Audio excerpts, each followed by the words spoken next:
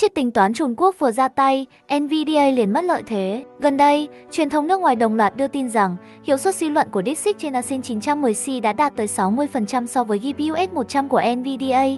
Cần biết rằng S100 vẫn là flagship thế hệ trước, vượt trội hơn hẳn ở 910C cả về tiến trình sản xuất lẫn số lượng mỏng bán dẫn. Đừng nói đến S100, ngay cả A100 cũng có thể dễ dàng đánh bại nó.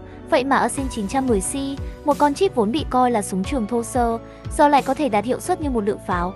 DeepSeek đã làm điều đó như thế nào? Ai cũng biết CUDA là vũ khí lớn nhất giúp NVIDIA thống trị lĩnh vực AI, không chỉ đóng mã nguồn và chỉ hỗ trợ GPU NVIDIA, họ còn cấm các công ty AI Trung Quốc sử dụng CUDA.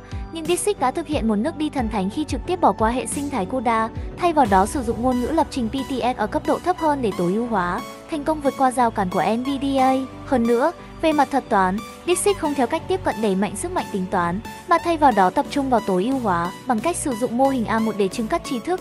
Họ tạo ra nhiều mô hình nhỏ chất lượng cao, giúp các GPU có hiệu suất yếu như AMD hay Asen có thể hoạt động mạnh mẽ hơn. Điều gây sốc hơn nữa là Dixit còn hỗ trợ nguyên bản nhân CANN, giúp chip Asen chạy được các chương trình CUDA vốn độc quyền của NVDA. Điều này chẳng khác gì việc NVDA bị đánh thẳng vào nhạc giờ đây. Không chỉ phần cứng đang bắt kịp mà ngay cả hệ sinh thái phần mềm, vốn là lợi thế sống còn của NVDA cũng đang bị xuyên thủng. Có lẽ đã đến lúc NVDA thực sự phải hoang mang.